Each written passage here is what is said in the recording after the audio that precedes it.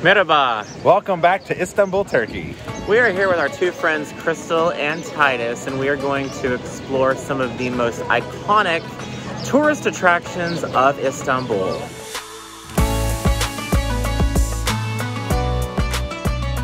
We are currently standing in the middle of Sultanahmet, which is home to the Blue Mosque, and Hagia Sophia. And oh look, there's Crystal and Titus. Hello. So, interesting facts about Hagia Sophia.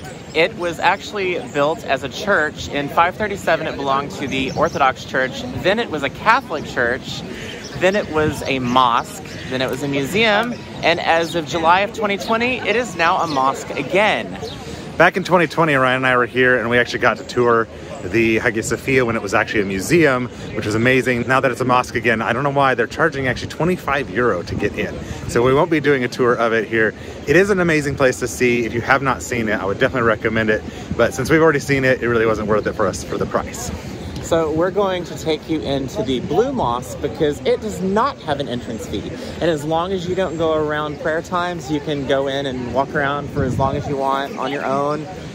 Or you can take one of the overpriced tours from the locals, whichever one you want to do. Oh, you, to be nicer to the locals. They're not all overpriced. Uh, some, most of them are, unless you take like an official tour.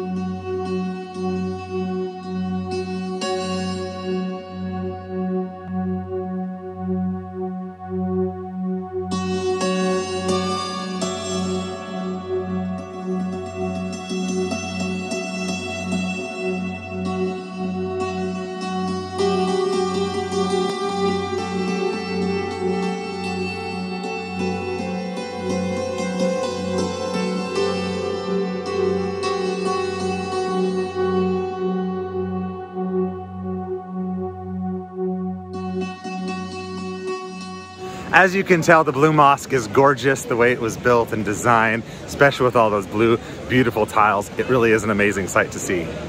Another place that's close by here uh, from Sultanahmet that is very, very interesting to see is the Basilica Cistern, which dates back to Roman times from the 3rd to 4th century. It's on the first hill of Constantinople, and it was basically, easily put, the city's underground water system.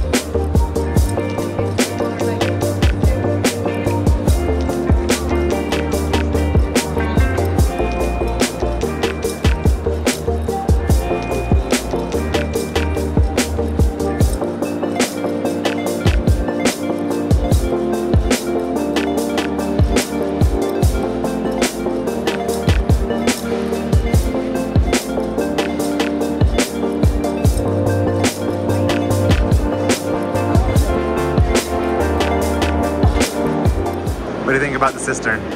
It is totally worth the $20 that it costs to get in here for the second time.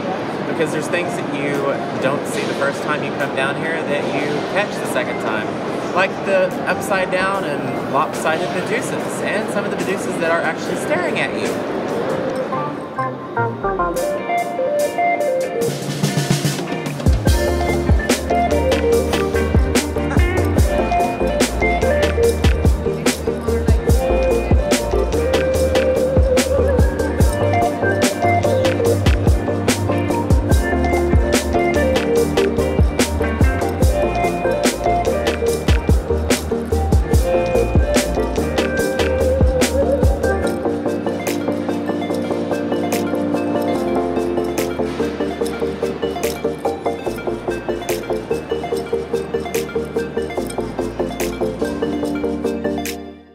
So as always, videos and photos never do something justice.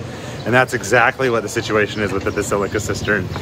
Obviously the footage you just saw is amazing and it's definitely worth the 20 dollars US dollars to go visit you really should make the effort to go down there it's just an incredible viewpoint right now we are headed to Nusr-Et as Ryan is requiring us to go there for lunch we had the best hamburger we've ever had in our lives there when we were here about a year and a half ago.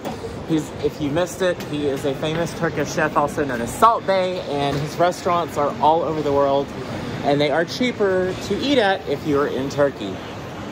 So we're headed there now. You'll get to see what we're gonna eat. I don't exactly know what I'll choose, but it should be fun. We have just finished lunch and nobody got the steak that was covered in 24 karat gold, unfortunately. But the burger was filling, satisfying, and still definitely one of the best burgers I've ever had in my life. Now we've come to the Grand Bazaar to just walk around and see what we can buy that we don't need and probably pay too much for.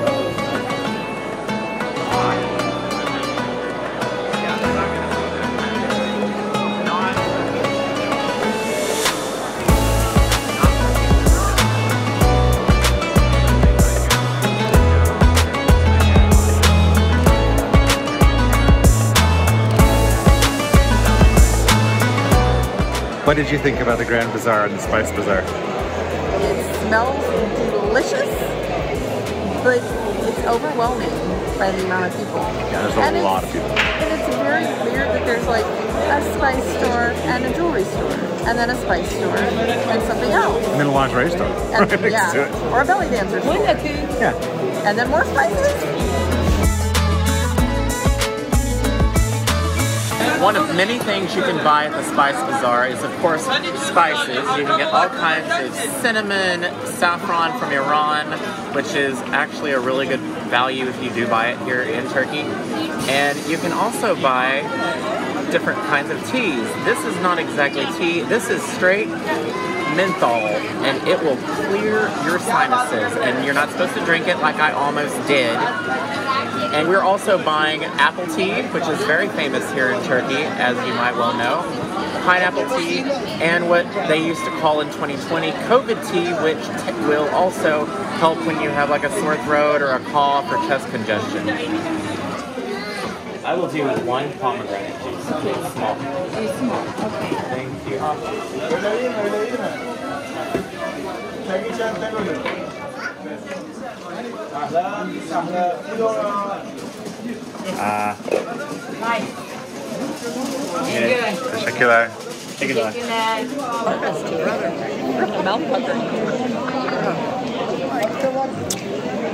Yes, Ducky, you're right. That is very mouth puckering, puckering. but it's very good.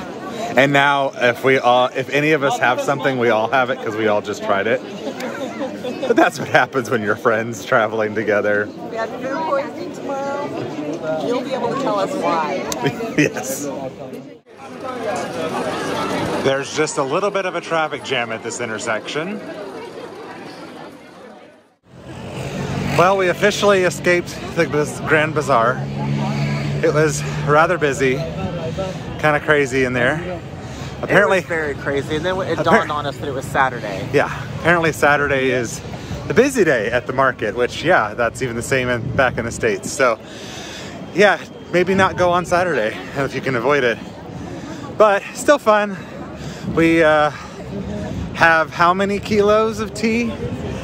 I think three or four kilos of tea. Um, yeah, that's a lot. But we'll drink it all. And it's good, so it's worth it. And it was a good deal, honestly. Now we're walking back to our hotel across the Golden Horn, and I'm going to avoid a fishing pole. And that's probably going to do it for the day, this first day in Istanbul. So we'll just stop and say thanks, for traveling the world with us.